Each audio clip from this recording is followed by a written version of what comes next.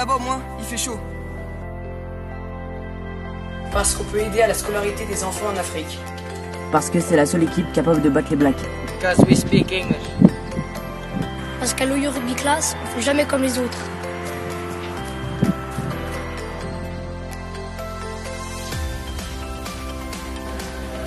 Parce que c'est le pays de Nelson Mandela